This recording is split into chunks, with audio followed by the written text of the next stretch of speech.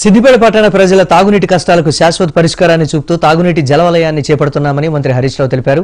తాగునీటి ఎత్తిపోతలకు దీంతో ఇబ్బందులు తప్పుతాయన్నారు. నాలుగు దశాబ్దాల ముందు చూపుతో మున్సిపల్ శాఖ శాశ్వత తాగునీటి అభివృద్ధి కోసం ప్రత్యేక ప్రణాళికను రూపొందిస్తోందన్నారు.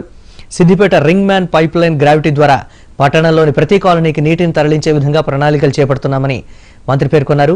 మల్లన్న సాగర్ నుంచి సిద్దిపేట మున్సిపాలిటీకి రింగ్ మ్యాన్ కనెక్టివిటీ ద్వారా తాగునీరు అందించేలా రూపకల్పన చేస్తున్నామని మంత్రి హరీష్ రావు తెలిపారు.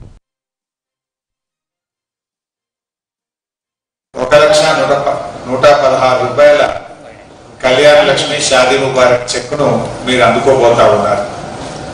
నిజానికి ఇటువంటి పథకం భారతదేశంలో అనేక రాష్ట్రాల్లో కాంగ్రెస్ ప్రభుత్వాలు ఉన్నాయి బీజేపీ ప్రభుత్వాలు ఉన్నాయి ఏ కాంగ్రెస్ గవర్నమెంట్ ఇస్తలేదు ఏ బీజేపీ గవర్నమెంట్ కూడా ఆడపిల్ల పెళ్ళికి సహాయం చేయడం లేదు.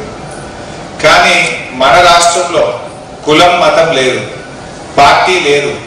పార్టీలకు అతీతంగా మతానికి అతీతంగా కులాలకు అతీతంగా ప్రతి పేదింటి ఆడపిల్ల పెళ్ళికి సాయం చేస్తున్న ఏకైక ముఖ్యమంత్రి గారు మన ముఖ్యమంత్రి కేసీఆర్ గారు.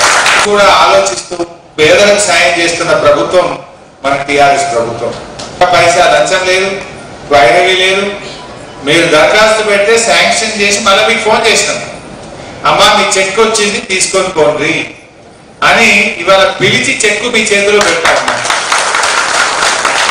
మంచి ఆసుపత్రి కట్టినాం. సిద్దిపేటలో చక్కటి ప్రభుత్వ ఆసుపత్రి మెడికల్ కాలేజీ తెచ్చినాం మనం సిద్దిపేటలో ప్రభుత్వ వైద్య కాలేజీ తెచ్చినాం.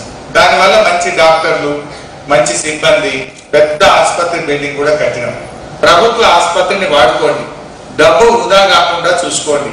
అనవసరంగా ప్రైవేట్లకు వెళ్ళి మీ డబ్బును వృధా చేయొద్దు అని చెప్పి నేను మీ అందరికీ మనం చేస్తా ఉన్నాను మాకేముంటది?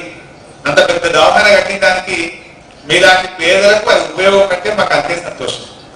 మీలాంటి పేదలు ప్రైవేట్ ఆసుపత్రుల చుట్టూ పోయి డబ్బులు ఖరాబ్ చేసుకోకుండా ప్రభుత్వ ఆసుపత్రిని మీరు వాడుకోగలిగితే మాకు అంతకంటే సంతోషం ఏముంటుంది?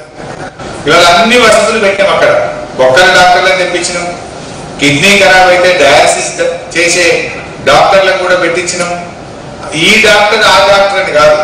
అన్ని రకాల వైద్య సదుపాయాలను సిటీ స్కాన్ మిషన్ కూడా పెట్టినాం. రెండు కోట్ల యాభై లక్షల రూపాయలతోని ప్రభుత్వ ఆసుపత్రుల్లో సిటీ స్కాన్ కూడా పెట్టించినాం.